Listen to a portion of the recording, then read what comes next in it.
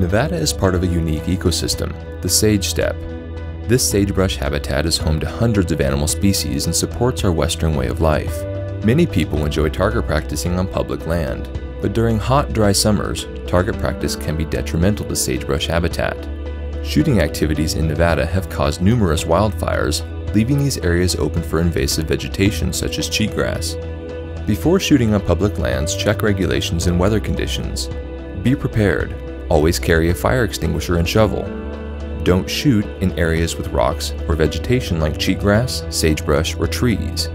Call 911 to report a fire even if you are successful at extinguishing it. Be aware that all ammunition can cause a fire under the right conditions, and never shoot incendiary bullets or exploding targets. Being fire safe will help preserve our sagebrush habitat for future generations. Do your part. Step up. Protect Nevada lands from wildfire.